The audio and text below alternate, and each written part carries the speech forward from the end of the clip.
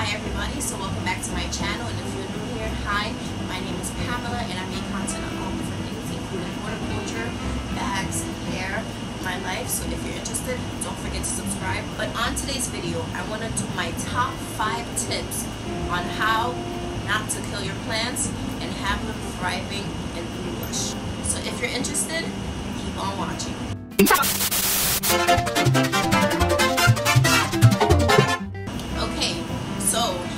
Right into it. Number five is knowing the type of plant that you have or you're going to purchase. Don't assume that just because plants, they all come from the wild, they're all, you know, from nature, they all just require the same things. No. Keep in mind, different plants come from different terrain, they require different soil contents. So, number five is knowing the type of plant that you're buying because that will definitely help you help your plant survive. Number four. Tip number four is soil content. Like I mentioned in tip number five, you need to know the type of plant you're getting, whether it's a cacti, whether it's a succulent, whether it's an you know an air plant, whether it's a plant that requires a lot of you know sphagnum moss or perlite or just regular plain soil. You need to know the type of plant that you have in order to provide and give it the proper soil for it to you know, food itself. Number three. So tip number three bounces off of tip number four, and that is watering and fertilization. Obviously, you need to know the type of plant you're getting and the type of soil that it needs, and you need to know how to properly water it. A lot of the times, I always tell people one of the main reasons why your plants die or they're not looking so well is watering might be underwatering, might be overwatering, and sometimes you let your plants sit in just like sitting water, which is not good for your plants. So, watering and fertilization. If you want your plants also to thrive, we need to provide a fertilizer. Do you think you can live every single day for the rest of your life solely on water? No, you can't. And plants like humans and like any living, you know, species, need nutrients and your plants can't only just get that from the sunlight, from the water, it needs to be fed. So I recommend products like this Jobe's uh, houseplant food.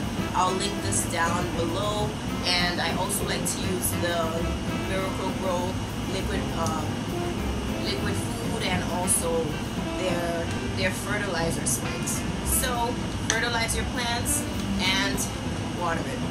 So with watering also, I give myself a routine. I know certain days I water my plants and it kind of just becomes a ritual. Also, to make it more just pleasing and everything for me, I like to use a canteen or like a watering can. So this one I purchased from Ikea, I believe, and if I can find it, I'll also link this down in my description box. But this, I know the amount of water I'm putting inside of here every single time. So, you know, off the bat, I know, okay, maybe my plant needs, you know, 30 milliliters of water, 100 milliliters of water. Like, obviously, you're not going to give your plants, like, you know, two tablespoons of water, you know. So, know your plant, know the soil, fertilize it, water it. That's tip number tip number two.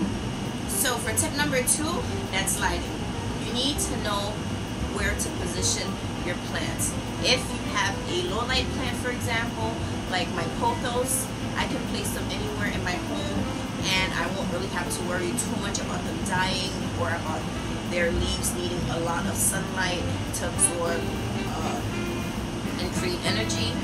But if I know I have, for example, a tropical plant like my bird of paradise, I need to provide this plant a lot of sunlight because it comes from the tropics. So lighting is very, very key. You also don't want to place a plant that's very photosensitive. Um, they have a, they have sensitivity to light very close to a window because that can bleach the leaves, that can dry out the plant, that can kill your plant. You don't want that. So lighting is tip number two for me and it's very important. Tip number one. So my final tip, my final advice is love and patience. You honestly need to have love for your plants because owning a plant is a commitment. It's a hopefully a lifelong commitment. Who wouldn't want to have a plant that they purchase for the rest of their life? Obviously, a plant is kind of like, in a metaphorical way, your child without you, you know, physically giving birth to them. It solely relies on you. If you neglect it, it will die. So, owning a plant is a major investment. It's a big investment. It's a financial investment, whether it cost you a dollar, whether it was free 99, whether it cost you, you know, a hundred dollars, whether you got it from a meet, a swap meet, it doesn't matter. You had to financially invest in it somehow by bringing it home and giving it soil and whatnot.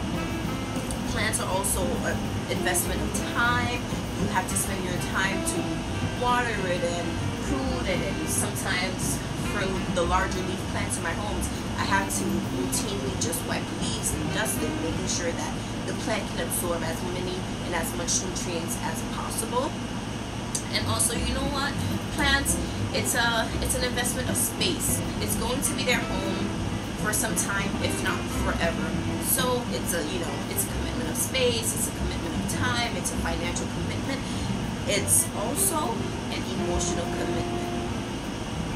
Plants make you happy, they can make you sad, they bring a lot of, you know, good aeration in your house, a good like exchange of oxygen and carbon dioxide. So, and seeing your plant thrives, hopefully, you know, unless you're like Morticia who cuts off the the petals and the leaves and the beautiness of the you know the rose and just wants the dead stems then you know what? You want your plant to look nice. You don't want to have a sick plant. You don't want to have a you know a sad plant. Plants are emotional investments too.